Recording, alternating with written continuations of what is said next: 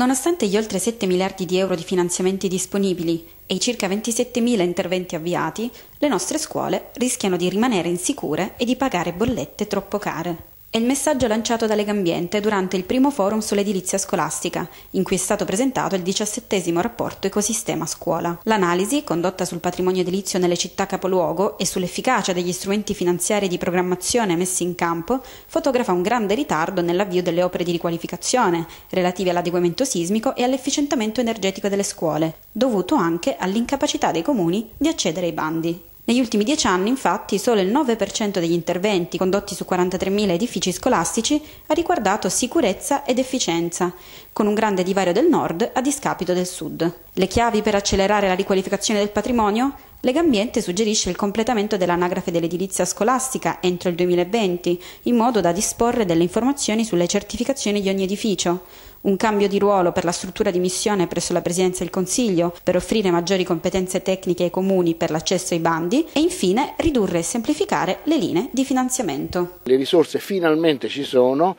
bisogna che vengano spese e che vengano spese bene. Ecco, io penso che tenere separate alcune questioni è un errore quando metti in mano un edificio scolastico eh, di enorme interesse e di enorme utilità, quando abbiamo il 50% delle scuole che non hanno la certificazione statica, no? eh, quando abbiamo del, un consumo energetico nelle scuole che è di 1 miliardo e 300 milioni di euro all'anno e abbiamo tante altre questioni, quando metti in mano una scuola devi mettere assieme le cose, non devi leggere il problema con l'occhio delle competenze dei ministeri, devi leggere il problema con gli occhi dell'interesse degli studenti, degli insegnanti, del Paese. Vogliamo che ogni scuola che ha bisogno degli interventi possa realizzarli in modo completo e compiuto a partire dagli interventi sulle strutture, quindi sull'antisismica e gli interventi strutturali. Oggi le risorse sono, sono sicuramente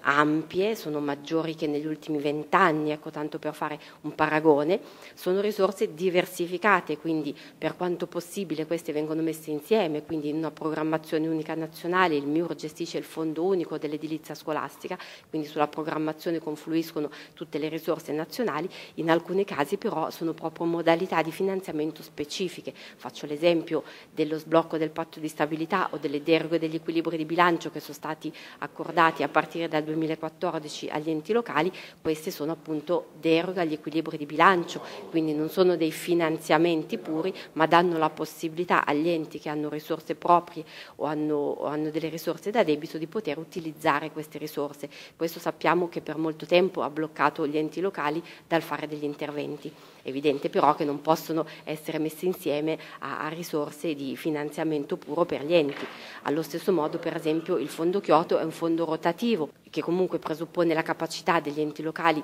di indebitarsi pur a un tasso agevolatissimo allo 0,25%, quindi praticamente niente, però diciamo è una modalità di finanziamento specifica e che quindi presuppone un indebitamento degli enti locali